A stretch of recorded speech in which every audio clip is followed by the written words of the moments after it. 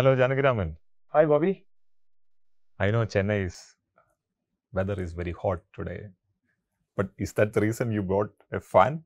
no, no, no. I don't think this fan is going to help you uh, one bit to overcome the sweltering heat of uh, Chennai. But uh, I thought we should discuss about the origin of this sine wave. You know, last time you mentioned Hmm. that uh, in in our power supply lines we get a 50 hertz. sinusoidal, 50 Correct, hertz sinusoidal, correct, right? correct. So uh, I think we should just discuss why we are getting it. You know, what is the origin and reason for that? Hmm. So what you see here, right? Can you read the specification of this? Yeah, DC 12 volt, 0.18 ampere. Yeah. So I mean, you can easily calculate the wattage. By the way, from you know what we did earlier, multiply the volt uh, with current, you will get the wattage and how much energy this fan is going to consume, right? Yes. So can you connect this to a 12 volt DC supply and show me, yeah. you know, what happens? so I see power supply here. Yeah. This is 12 volt. Yes. I think now try. we can stop measuring with a voltmeter. We have already yeah, measured have this adapter this already. earlier. Mm-hmm. And not surprisingly, with most electronic gadgets, things don't work the first time. What happened? Is this not on? No, this is on. I can see this is on. Right. So just get the wire straightened out and Yeah. yeah. So what happens So is this fan is working. So the fan is working, right? Hmm. So when you apply a voltage, right, across this fan, 12 volt, and provide the necessary current, this fan is rotating very nicely, right? So essentially, what is happening inside this fan is you have a fixed magnetic field, okay, B, and uh, in this you have a coil. I've just drawn it as a square coil here, but otherwise you have you know some other coils also. And you have a current i that is flowing through this coil. This current i is a dc current. Yeah?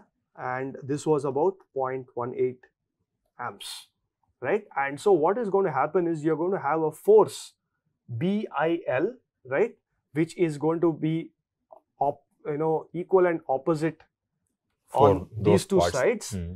but on this side it's going to form a couple right you're going to have a torque so all the forces balance each other and this coil cannot move but it is going to rotate you will Mhm. have a coil i mean you'll have a, a bil into the uh, you know into this distance here which is going to give you a torque right and that is essentially going to lead to the rotation of this Okay. fan okay So there will be a spindle or something to hold this. uh, exactly so it's a it's a more complicated thing as how you allow it to rotate and pass current and all that's a Hmm. different that's how a motor is you know designed very carefully mhm. but let's not get carried But away with Gives those an details. overall, a basic idea about it. basic idea of so but the main point i'm trying to highlight here is we are passing a direct current and we are causing rotation Yeah. now i want you to try an interesting experiment Uh-huh.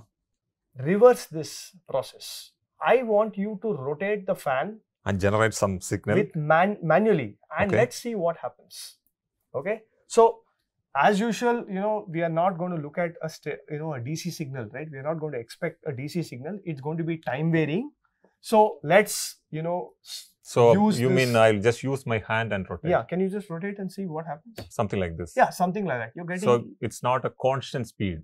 Yeah. It will be a speed that will be reducing over time. exactly you're you're rotating it and it will slow down and come down to zero okay So you are okay with that? I'm okay with that Okay. because it's a again we are trying to do a first order experiment to understand what's happening. Okay, so I want you to connect this back to the, the- oscilloscope Sure. because it's a time varying signal now.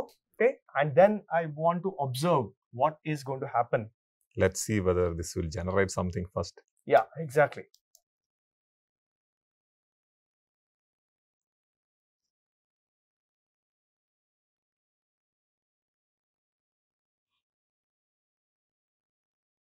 Okay,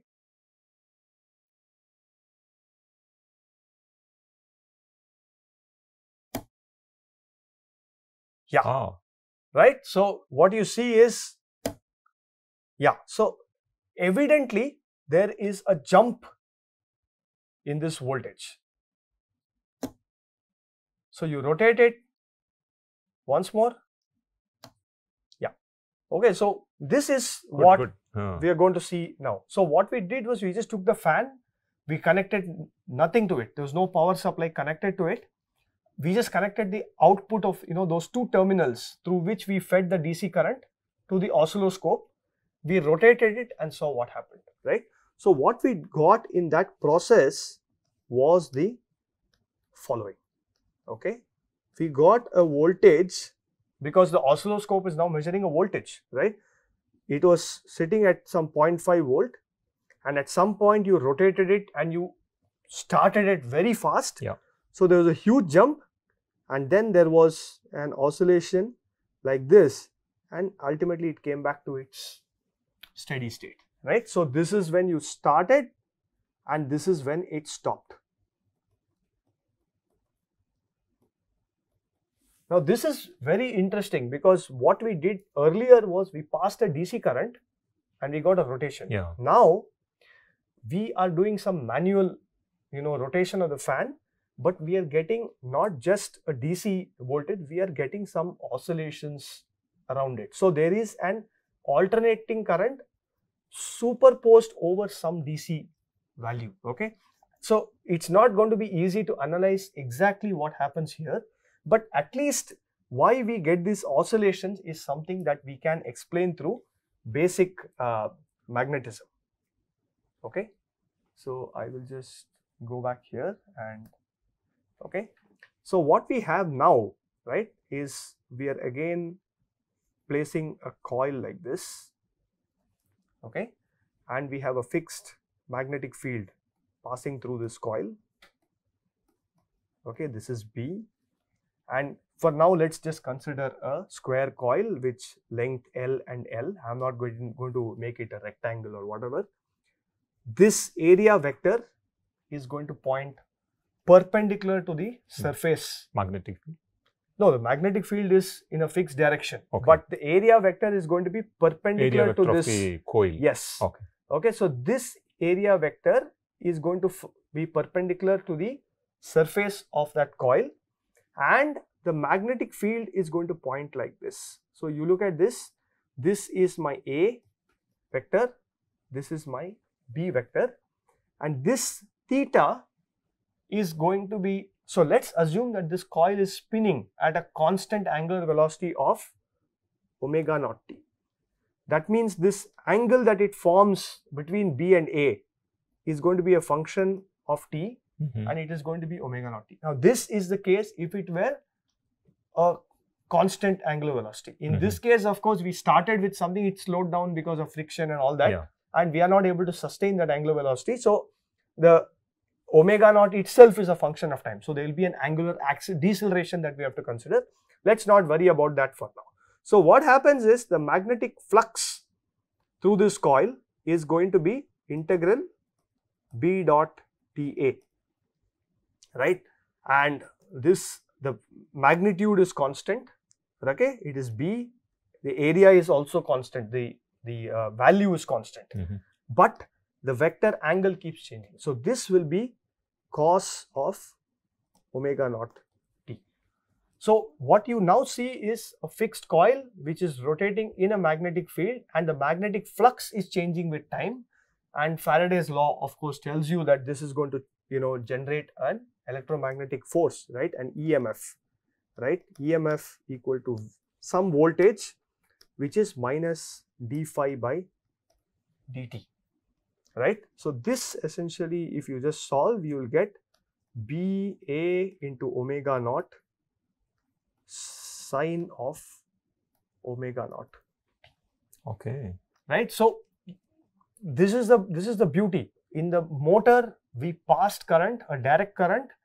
The bil that force is what led to a torque and it was able to generate. But the ac component was the fact that that was now rotating at an angular velocity omega naught now what we are doing is we are rotating this from outside at an angular velocity omega naught and that is leading to an ac current right it's not just a dc uh, generation and that is why even the uh, power supply at home and all that is AC because the generation itself, you know, hydroelectric power gets generated in this manner, right? You have rivers flowing over a turbine that rotates and that generates some electricity and that is, you know, now distributed through the country, Yeah. right? And uh, that's why you have, uh, you know, sinusoids are very fundamental to electrical engineering, right? This is just one of the aspects. But let me ask you one question. Yeah. Did you generate energy out of nowhere magically? No, I was providing energy. Exactly. So this is another very important aspect for electrical engineers. Sometimes you might think there is a possibility of a perpetual machine somewhere. That will not happen. Energy has to be generated from, you know, has to be put in from somewhere and it will get transformed to something else. So here Bobby, you know, did all the work with his hand and got the fan rotating and that generated some small voltage. You know, there's Yeah. a huge loss by the way, the amount of work that he did and the amount of energy we got out is not even comparable because there's a huge loss there. But the key point is energy was not generated, it was actually just transformed from one Yeah. form to an other, Or converted. was just converted from one form to electrical energy in this case.